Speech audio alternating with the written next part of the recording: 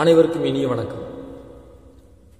புனித வியாழன் புனித வியாழன் ஒரு வரலாற்று சிறப்பு மிக்க நாள். தாழ்ச்சியே உருவமான இறைவன் இந்த மண் உலகில் பிறந்து வளர்ந்து தான் காட்டிக் கொடுக்கப்பட்டு இறக்கப் போவதற்கு முன்பாக ஏற்ற ஒரு மிகப்பெரிய பரிச்சயம் தான் இன்று. அது என்ன? என்ன நடந்தது?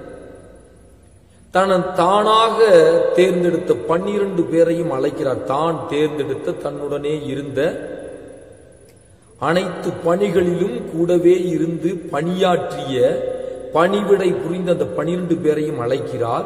ஒரே பந்தியில் தன்னுடன் அமரச் செய்கிறார். யார்? இறைவன் கடவுள். தன்னோடு அமரச் செய்கிறார். அமரச் செய்து உணவருந்தும் முன்பு அவர் செய்த ஒரு நிகழ்வு இருக்கிறது பார்த்தீங்களா? அந்த நிகழ்வுதான் இன்று கிறிஸ்தவம் உலகம் முழுவதும் பரவி நிற்பதற்கு ஒரு மிகப்பெரிய காரணம். அவர் இறந்து உயிர் தெழுந்தார் என்றால் அதெல்லாம் பிறகு. இந்த நாளில் தான் அந்த தாழ்ச்சியே உருவமான இறைவன் இந்த பூமியில் வந்து ஒரு மனிதனாய் வளர்ந்து மனிதனாகவே மக்கள் மத்தியில் நின்று மறைவதற்கு முன்பாக ஒரு மிகப்பெரிய மாற்றத்தை ஏற்படுத்திய தினம். எந்த மனிதனாலும் செய்ய முடியாத ஒரு நிகழ்வு. எந்த ஒரு தகப்பனுமே தனது குழந்தைகளுக்கு செய்ய முடியாது. ஆனால் தன்னோடு இருந்த அந்த பனிரெண்டு பேருக்கும் செய்கிறார். ஒரு பந்தியில் அமரச் செய்து அவர்களது பாதங்களை கழுவுகிறார். நான் செய்வது போல் நீங்களும் செய்யுங்கள். ஏ இதை போய் செய்டா. நீ செய். அப்படின்னு யாருக்கும் கட்டளை போடல. நீ செஞ்சே ஆக வேண்டும். என்று யாரிடமும் ஒரு கொக்காரம் செய்யவில்லை. மாறாக செய்துவிட்டு இதுபோல் செய். இதுபோல் செய். இதிலேதான் உனது வாழ்க்கை இருக்கிறது. வாழ சொல்லி வாழ்ந்தும் காட்டிவிட்டார் நீ இப்படி வாழ வேண்டும் என்று உனக்கு உனக்கு ஒரு அதிகாரம் செலுத்தவில்லை. அங்குதான் இயேசு எப்பேற்பட்டவர் என்பது விளங்குகிறது. மனித கால்களிலே விழுந்த தெய்வம். மனித கால்களிலே விழுகிறார் அந்த பாதங்களை கழுவி முத்தமிடுகிறார் நான் செய்வதை போன்று நீங்களும் ஒவ்வொருவருக்கும் செய்யுங்கள். உன்னோடு இருப்பவருக்கு செய்யுங்கள் என்று அந்த திருச்சபையினுடைய மிகப்பெரிய மாற்றத்தை கொண்டு வருகிறார் திருச்சபையை உருவாக்குகிறார் ஒரு கிறிஸ்தவனாக வாழ வேண்டும் என்றால் எப்படி வாழ வேண்டும் என்று இங்கே காட்டுகிறார். சிறிய தவறு செய்தவனை கூட மன்னிக்க நமக்கு நமது மனது முன்வருவதில்லை. குடும்பங்களில் ஏற்படக்கூடிய பல பிரச்சனைகள் பல பிரிவுகள் பல பிளவுகளில் சென்று நிற்கிறது. மன்னித்த அனைவரையும் ஏற்றுக்கொள்ளுகிறார் எல்லாவற்றையும் எல்லோரையும் மன்னியுங்கள். நீங்கள் மன்னித்தால்தான் எனது பிள்ளைகள் என என்னோடு விருந்துண்ண உனக்கு பங்கு என்கிறார்.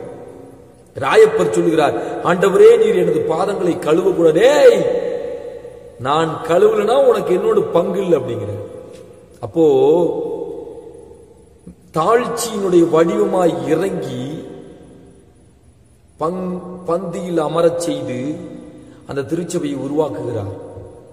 ஆம் அன்பு நண்பர்களே இன்று திருச்சபை உலகமெங்கும் வியாபித்திருக்கிறது என்றால் அதற்கு முக்கியமான காரணமே இந்த நாளினுடைய நிகழ்வுதான்.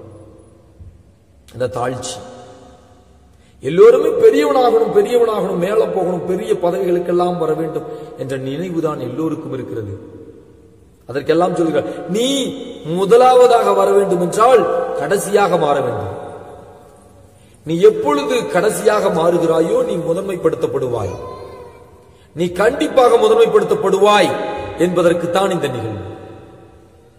கண்டிப்பாக நீயும் முதல்வதாக வர வேண்டும் என்றால் நீ தாழ்ச்சியின் உருவமாக அனைவருக்கும் பணிவிடை செய்.